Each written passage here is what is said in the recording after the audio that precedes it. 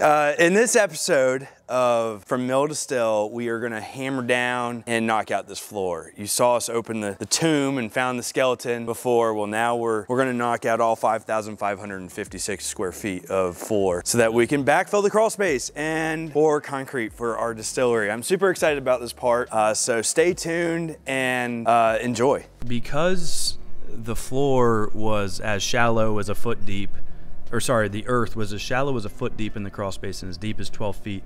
As we went further and further into the building, we had to build a road. Where the skid steer is sitting right now, just to the left, there was the original brick wall from the 1875 section of building. They knocked that wall down just barely enough to build a floor on top of it. And when I say just barely enough, they were three inches lower than the structural planks that we're pulling up right there. So that floor was, you know, is 26 inches thick wall. They didn't tear a brick out that they didn't have to. Uh, we brought in ABC stone to build this road across the building, and then you can see off to the the footings on either side. Those those came out. The ones not with post on them. Uh, and you can kind of get an idea here of the new floor. The concrete will be poured up to the level of the top of that post. Before we can start slinging stone into this building, we gotta finish tearing out the floor. So, this is a giant time-lapsed montage, basically, of us doing that. This was hopefully what will be the hardest undertaking that we go through at the the mill. It was pretty intense. There was six-inch spikes holding the the tongue and groove structural flooring to these beams. There was a pile of steel in here. You can see where we're using the Bobcat to just just piece by piece remove everything. And this took place over the course of 150 feet of flooring. We saved all of the the uh, the material that we could. So there's piles in the yard of uh, I-beams and three ply two by 12s. There's piles of there's pallets of maple tongue and groove flooring. It was all taken up. It's so much harder to remove material that you plan on reusing versus just taking chainsaws and just hacking it all to pieces. Uh, but it's nice. The 2x12 three plies we'll use to do structural repairs on the building, temporary supports. We may do like a lean to kind of roof system for uh, farmers markets. That would be nice. We're going to use the maple flooring to do repairs on the second and third floor. So that maple will be put back where it was damaged on other places. We're also going to save the rest of the maple flooring because you never know when we may want to, you know, restore part of the first floor to its former glory. Uh, we could always put sleepers down on top of the concrete and put maple flooring back to show what the building used to look like more specifically on that floor. Um, but everything, to you know, long story short, everything was done with the intent of full respect for the historic structure and you know what it was about pre 1946. So uh, we're taking care of the building as best we can.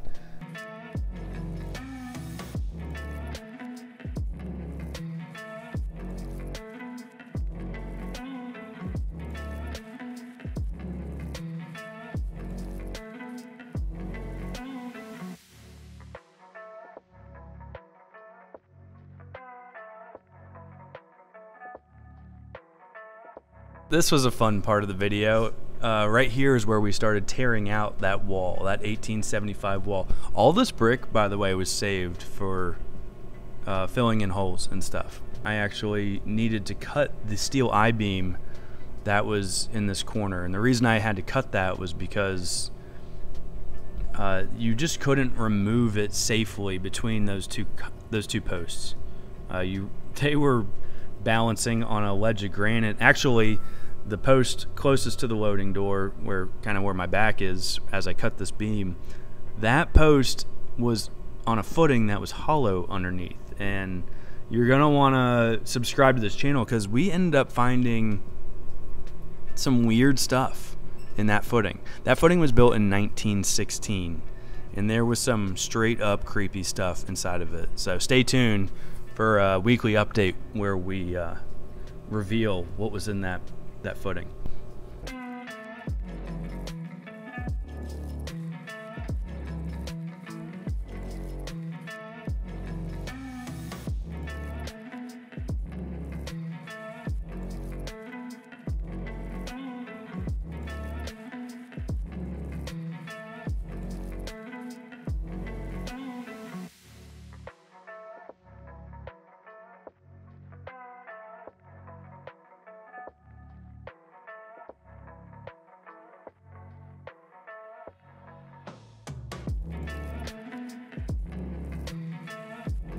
This is a pretty cool new perspective. You know, we did a lot of recording from the break where the 18, 1875 building met the 1916 section.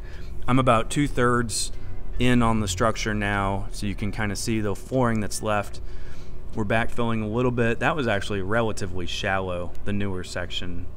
The 1916 section had concrete uh, footing walls, and the 1875 section had stacked granite foundation walls. It's cool to see how the construction practices changed over time. Made some discoveries over here where we're putting stone in the corner. We found old liquor bottles and you know obviously to a distillery that's a really cool find i think they were gin bottles we'll have shadow boxes everywhere we found a lot of liquor bottles and a lot of beer cans and medicine bottles and things like that over in that corner there's also a boulder that's twice the size of my truck holding up the corner of that building it's it's crazy the the addition that you're looking at was actually built in 1916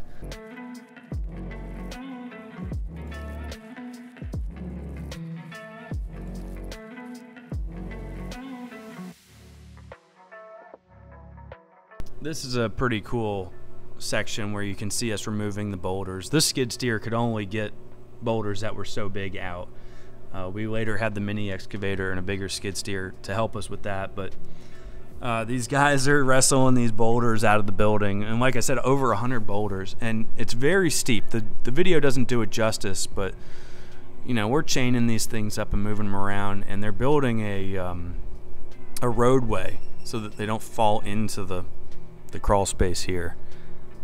But it's it's pretty cool to see, you know, piece by piece, every single boulder was snatched from the building.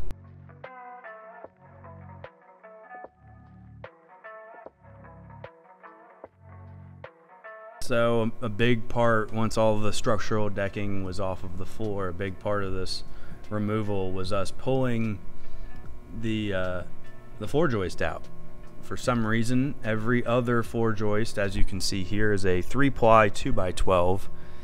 And in between those was a steel I-beam, 12 inch steel I-beam with a a 4 inch pad on top. A 4 inch nailer was bolted to the I-beam so you could bolt or so you could nail the spikes of the structural floor into it, securing the floor above the I-beam. The floor was pretty stout. It had uh, pocketed into the brick on one end and then sat on a steel beam in the middle of the structure, that steel beam is going to end up coming out that everything was sitting on.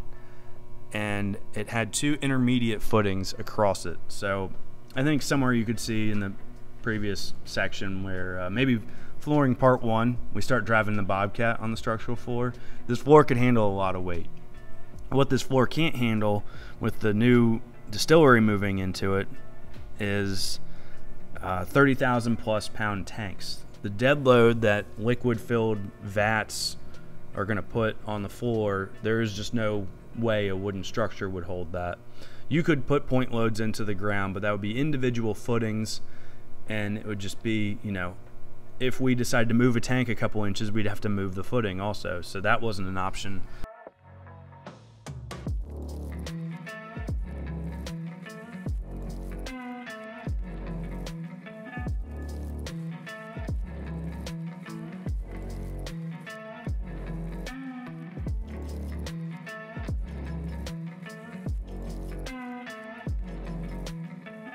I love this perspective of the building. This is the 1875 section, so we're at the the the break between the 1916 section and the 1875 looking back and you just see how well the natural light floods into this space uh, you can also see how hard it was to get this stuff out of here so each of these timbers each of these these older section structural timbers we had to to cut the tongue in between the two boards. Otherwise, it would split the grooves out of each one. And cutting that, I think we used 20 or 30 Diablo demo skill saw blades. Like it was, you never knew when you were going to hit a spike or a nail, and it, it was a lot of work. And uh, I actually fell through the floor here. I say I fell through the floor. I started to fall by stepping on a board that wasn't secured like some sort of weird cartoon, and I flung my body while holding a four foot crowbar over a floor joist like a wet towel. Uh, I think my ribs are still healing from that, but anyway, that's that's pretty cool to, to see that floor and it was still there, and I hope I never have to do that kind of work again.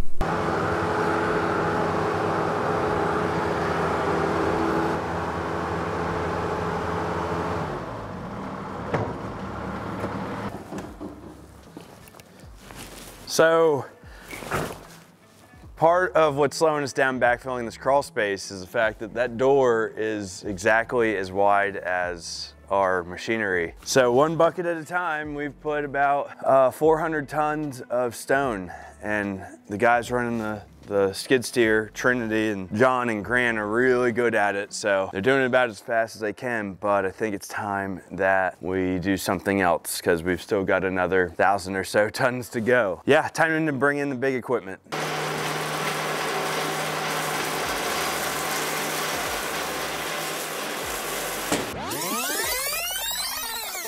Wait, wait, wait.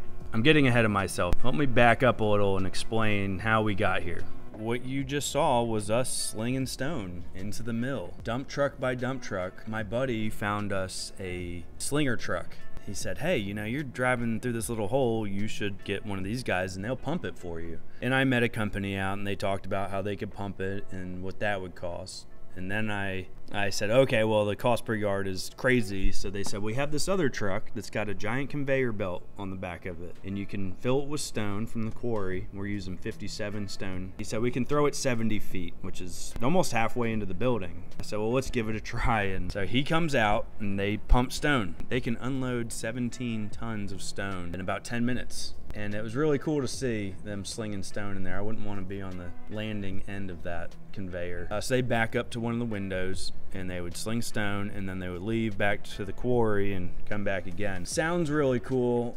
There's one giant downside, and that downside is that the conveyor is attached to the dump truck. So when the dump truck's empty and leaves, the conveyor goes with it, and you can only go as fast as the turnaround time of these slinger trucks. So because of that, you're at the mercy of how efficient the quarry is and how far away it is. In our case, it just so happened that roads were shut down and that truck had to take the long way to the quarry. The quarry had a loader that was down and so the loader was backed up. I think at one point he sent me a picture of a mile long line of dump trucks waiting for the quarry. Now you're paying this slinger truck by the hour and he's only running a truck every three hours. Your cost per yard goes astronomically high. And at the end of all of it, even on the most efficient day, they could only process about six loads. Uh, we went back to loading the next 800 tons of stone with the skid steers, and we had two of them going, so it actually didn't take that long. We could actually lift uh, with the 57 stone about four feet per day, and we had 12 feet to go total, so not so bad.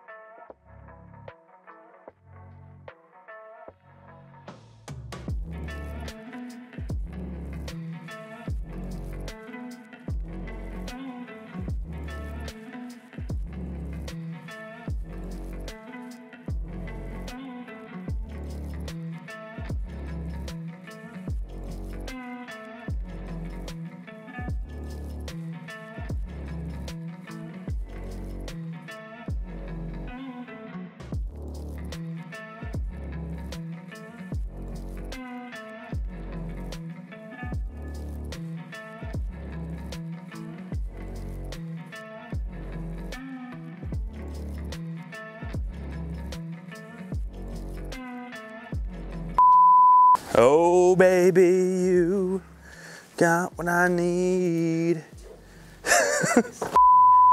So we made it through most of the floor. Officially, all of the tongue and groove is out of this freaking first floor. That was one of the most difficult things I've ever had to demo. Those boards were two and a half inches thick by seven and a half inches wide, and they were secured every four feet with spikes, like eight inch spikes. And we couldn't just like tear it up and throw it away. That floor had to be disassembled so that we could reuse all of that historic fabric. We got some really cool boards out of it that turns out we're gonna build our bar out of and maybe some other furniture in the cocktail bar area. We may be able to sell some of that historic lumber. So if you're looking for historic lumber, we got like thousands of square feet of it. So check us out at our website and send us an email. Anyway, once we got this floor uncovered, we really got a good, bright, open look of these old footings. The outside walls are very secure, almost 30 inches thick, but the center posts that go down the building are mostly held together with stacked stone footings. Stacked stone means old as shit. And uh, you can see I could get my finger, my whole hand in between these granite blocks here. The engineer's not super happy. He's not super happy to the extent that he's literally moving an office trailer out to the job site to watch the fix for this. The fix for this will be a giant concrete trench footing that runs down the center of the building. Over the past 120 something years, this building has settled in the center about three inches. And uh, that settled, I guess, I don't know, maybe even 100 years ago and stopped. But we don't feel confident in these footings anymore, so we are gonna put a new footing in. And that, that will be a very exciting part of our series. Watching us lift the center of this building over three inches uh, and then put in all new beams, all new capitals, sorry, all new posts and all new capitals. Super excited about that. So stay tuned. On a beam, baby. We get over here and we see a coffin from the early 1800s. Whoa, it's drone time. That is so cool. All right, just before anybody gets too, you know, out of hand in the comments section here, that's me, the owner up there setting up the camera so I can get this glorious footage that we're all watching. Uh, and I know it's not the safest thing, but it's relatively the safest thing, and it's it was definitely the quickest thing. So yeah, that's just me setting up the time lapse camera from the old section to the new.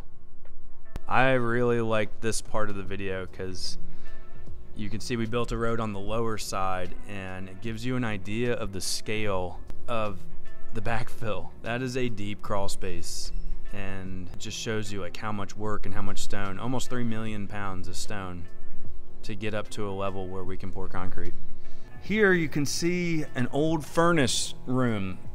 Uh, it's not a boiler room, it's just a furnace room. There was a gas, natural gas furnace here, uh, probably put in in the 70s, if I had to guess. We had all the the uh, fire tiles and the the plaster walls were all tested for asbestos, and they were not hot, so that was good. And uh, then we were able to demo this, and that was that was kind of fun. You know, that was just one of those one you know knocking that down with the mini excavator versus you know chipping it away by hand was was a lot of fun to see that happen so fast. So we knocked it all down and then we drug it out and threw it in dumpsters. A lot of these block and stuff we actually reused to pad out masonry walls and repair them. Uh, you know, as you're pulling the floor joist out of this building, the masons are literally the same day going back and fixing that wall because the new floor will be 18 inches lower than the original floor. So all those beam pockets and messed up bricks and, and wooden ledgers had to be removed and masonry put back in their place, and that will eventually be plastered over. So uh, it, it'll be cool. You'll see traces of what used to be there when we're all 100% done and running. You'll see where the beam pockets have been replaced, where the old uh, crawl space vents were. You'll see all of that.